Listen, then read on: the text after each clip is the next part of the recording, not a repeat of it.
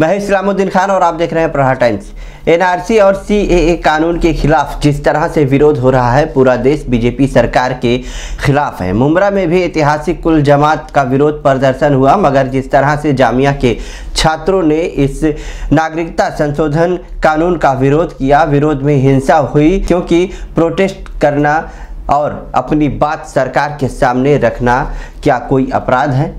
जो पुलिस ने छात्रों की पिटाई की आखिर इस कानून से भारत को बचाने के लिए लोग अब सड़कों पर उतर रहे हैं। चारों तरफ़ बीजेपी सरकार की किरकिरी हो रही है। इन विरोध प्रदर्शन में मोदी, अमित शाह के खिलाफ नारे भी लग रहे हैं। प्रदर्शन के दौरान एक तस्वीर प्रदर्शनकारी लेकर चल रहा था। उस तस्वीर को ध्यान से देखें कि आखिर ये तस्वीर कुछ तो कह रही है, जिसे हमें और आपको समझना है। आखिर ये तलवार किसके हाथ में है और तलवार की धार किसके गले पर है? आपको बता दें कि कानून से सिर्फ़ मुस्लिम ही नहीं, बल्कि हर तबके के लोग जो बेहद गरीब, जो हमेशा खेतों में काम करते हैं, मेहनत मजदूरी करते हैं, ऐसे में लाखों लोग भारत में हैं जिनके पास कोई दस्तावेज़ नहीं है। तो क्या वो भारतीय नहीं है? पहली बार ऐसा हुआ है कि भारत की सिटीजनशिप को धर्म से जोड़ा गया है और ये एक तरह से हमारे देश की जो सेकुलर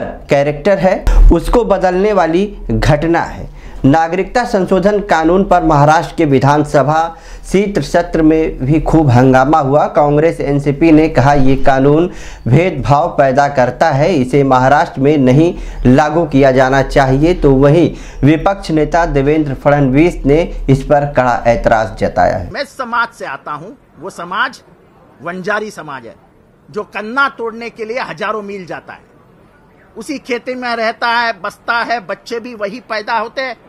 कहीं भी, कोई भी दाखिला उनके हाथ में नहीं होता है। ये मेरा एक समाज हुआ।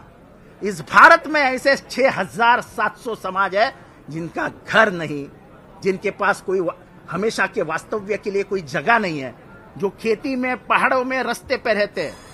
वो दाखिले कहाँ से लाएँगे? तो ये कानून अगर बताया जा रहा है मुसलमानों के खिलाफ है, नहीं। ये कानून उस हर गरीब आदमी के लिए है जिसको डॉक्टर बाबा साहेब अंबेडकर ने सुरक्षित कर दिया था जिसको नागरिक बना दिया था। कुठल्याही अतिरेक्याकरता प्रसिद्ध असलेल्या ऑर्गनायझेशन सोबत भाजपचं सरकार नाहीये.